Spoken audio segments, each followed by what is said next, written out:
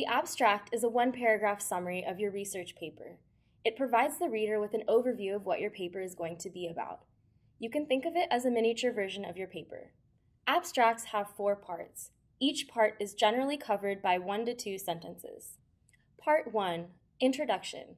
This describes the overall purpose of the research, such as a question that the research is designed to answer. Part 2 Methods.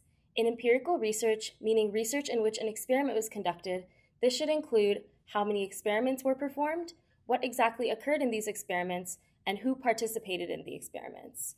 For literature reviews, this should include a description of how the review was conducted, as well as what sources were used. Part 3 Results. This should include a summary of what was found. Part 4 Conclusions. This usually includes a take home message of the overall findings. It may also include any broader implications. So, how do you write an abstract? Here's one approach divide up the process into all four parts.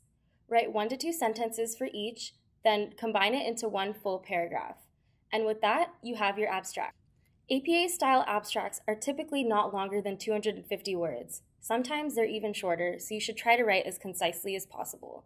The amount of detail you should include depends on the type of research that you are writing about. For example, if you're writing about a survey study, you might want to keep things a little more general, while if you're writing about a reaction time experiment, you might want to make things a little bit more specific.